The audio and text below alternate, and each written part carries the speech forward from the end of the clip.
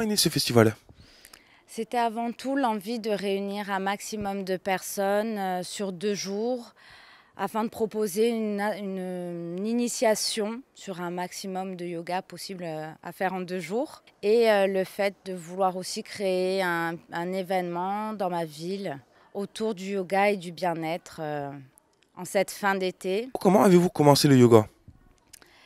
J'ai commencé par la danse, à vrai dire.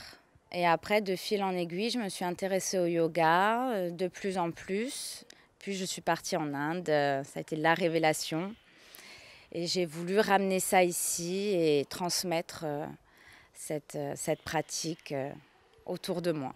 Il y a neuf sortes de yoga différents parmi une multitude de yogas.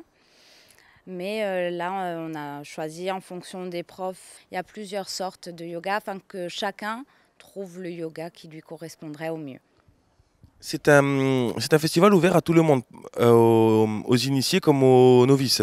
Exactement, et surtout aux novices, afin de découvrir cette euh, magnifique pratique. Qu'on soit confirmé, qu'on soit curieux, qu'on soit novice, euh, c'est ouvert à tout le monde. Ça laisse un moment aux gens de se rendre compte de ce qu'est le yoga et puis en plus tout le monde discute, ça crée des connexions, donc c'est vraiment une ouverture sur cette pratique et cet art de vivre.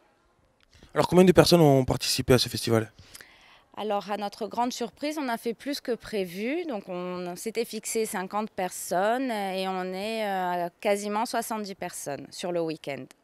Donc, on est ravis. Le Warrior Yoga, euh, ça aide à récupérer un super corps. Euh, donc, c'est très dynamique, c'est très cardio. Ça pousse les gens à sortir de leur zone de confort. Donc, pour moi, c'est vraiment le yoga du nouveau millénaire pour les jeunes. Alors, comment avez-vous trouvé le public euh, Balana, le public de Calvi aujourd'hui? Bah Justement, très motivé. Euh, euh, tout le monde a bien tenu, personne n'a abandonné. Donc, je suis très fière d'eux parce que justement, tu sais pas quand tu vas dans un endroit un peu nouveau, est-ce que les gens vont avoir la motivation de continuer? Parce que c'est quand même assez dur. Euh, ils vont avoir des courbatures pendant une semaine, ils vont se souvenir de moi. Donc, je me suis dit, est-ce qu'ils vont tenir? Ils transpiraient beaucoup et tout, mais personne n'a lâché. Donc, ils ont tous fait les handstands et tout ça, les postures à l'envers. C'était vraiment très sympa. Alors maintenant, qu'est-ce que, quel est votre souhait justement de développer votre, votre yoga, de, un yoga qui est peut-être un peu moins connu pour l'instant que, que d'autres styles En fait, euh, ça commence à être bien connu sur Paris, puisque je vous dis, c'est un petit peu le yoga euh, le plus dynamique qui existe et le plus cardio. Donc les jeunes adhèrent vachement, et puis les gens sportifs, hein, si vous faites déjà du sport, euh, voilà, on a des sportifs de haut niveau qui viennent s'entraîner chez nous. On a une salle à Boulogne, à Boulogne-Billancourt, donc près de Paris. Et de plus en plus, on a 4000 abonnés quand même hein, en trois ans, donc c'est pas mal. Et je pense que ça se développe, bah, comme le yoga en général, hein, ça vient d'arriver. Donc après, tous, tous les styles de yoga, ça, heureusement, il y en a pour tout le monde.